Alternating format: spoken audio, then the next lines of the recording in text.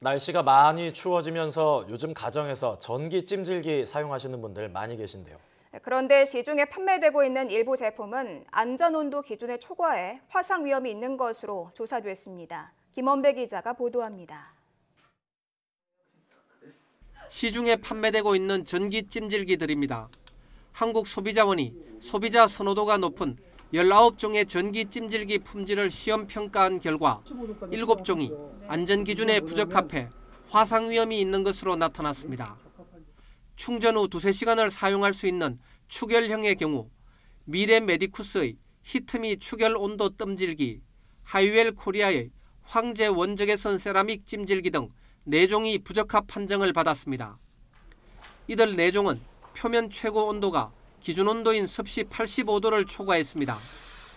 특히 미래 메디쿠스의 전기 찜질기는 표면 최고 온도가 섭씨 100도나 되는 것으로 나타났습니다. 또 전기 콘센트에 꽂아 사용하는 일반형 전기 찜질기 가운데는 제스파의 홍삼 비타 아로마 찜질기 등 3종이 안전 기준에 부적합한 것으로 나타났습니다.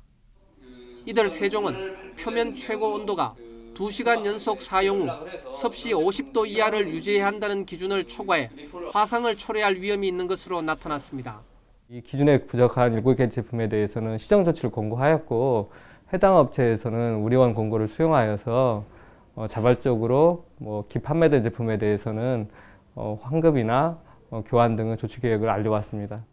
전기 찜질기와 관련해 한국소비자원 소비자상담센터에 접수된 124건의 상담 사례 중 화상이 53건으로 가장 많았습니다. 취침 전에는 반드시 이제 그 온열기구 온도를 낮추거나 타이머를 사용하시는 것이 좋고요.